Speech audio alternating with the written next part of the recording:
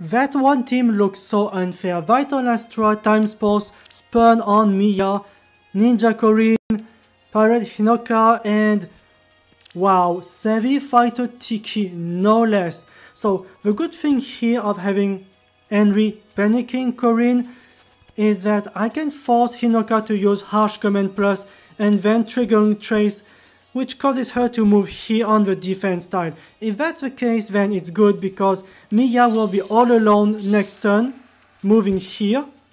Here. Oh. I will do what I can. Let us begin. Because obviously Mia cannot use Rally Defrez due to this. So Corrin should attack and suicide against Fae. Harsh Command Plus.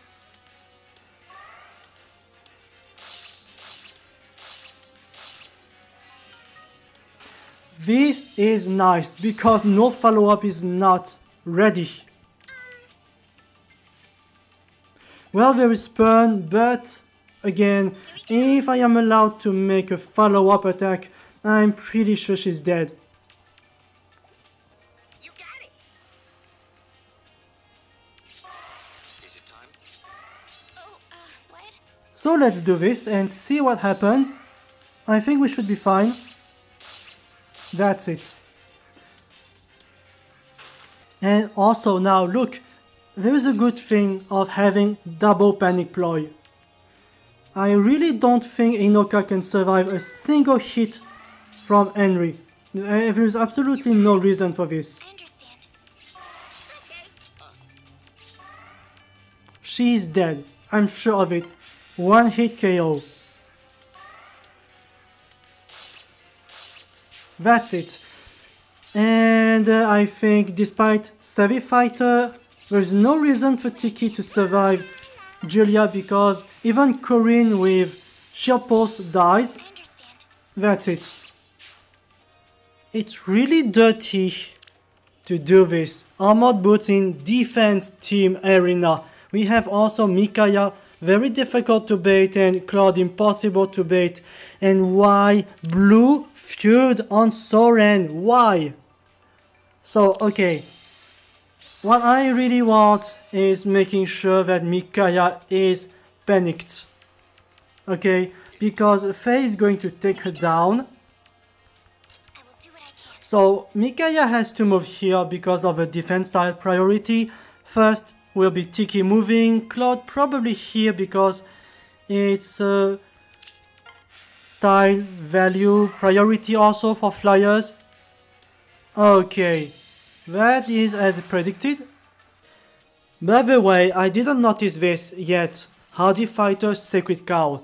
Why? This is so nasty. People do this in defense because they want you to lose. So, um, to beat Micaiah, let's say I do this. Then Claude has to move here because of the distance, rallying Micaiah. That means Tiki cannot use rally on Micaiah, but because of a new position of Claude right here, after Micaiah attack and suicide against Fae, then Tiki has to move here to use rally attack res on Claude. Oh, uh, what? So I want to place Julia here because next turn she can use the guidance and teleport here. She has to threaten Tiki somehow and force Claude not to move. Okay. Rally as expected. Okay. So it seems because no one can avoid a hit from Claude, someone has to take a hit from Claude. Um, I believe now the best thing I have to do is this. So let me explain. It's obvious to me that when you look at the number, if Fae stays where she is, this Tiki is dead. Also, this Soren cannot survive a single hit from Fae. This is not impossible. This is not possible. So Claude has to attack because he survives. If Claude moves here and attack, then panic triggers on Claude next turn, and that is a good thing. And uh, guidance actives on Henry so he can get the kill on Claude next turn after Fae attacks. Claude. player facing him.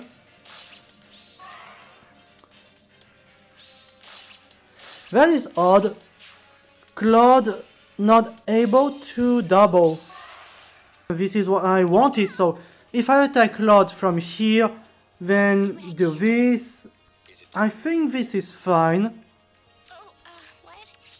Here we go. One hit and I think now he's dead. Wow, that is really, really scary. Please, Fae, don't disappoint me. I think you should survive, right? Henry also should survive. Yeah, that's good. That's good. That is so good. Wow, this Fae is awesome.